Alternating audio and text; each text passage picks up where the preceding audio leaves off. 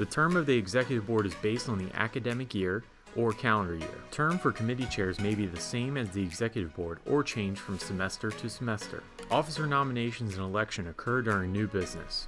I move to open the floor for nominations for the 2018 executive boards and the 2018 committee chairs.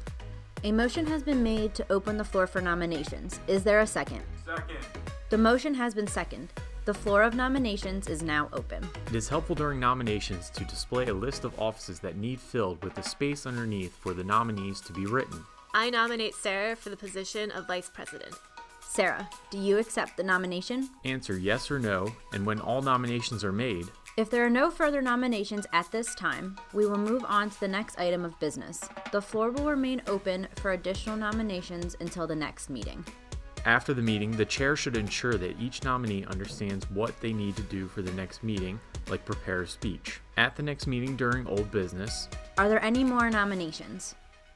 Seeing none, is there a motion to close the floor for nominations? I move to close the floor to nominations. Is there a second? Second. All those in favor of closing the floor? All opposed?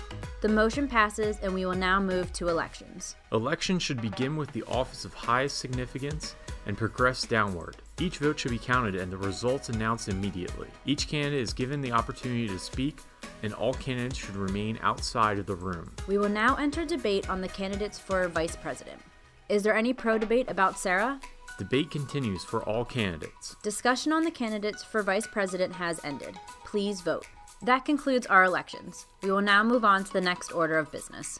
For additional information about elections, please consult the Resource Center at phi sigma pi.org/resources.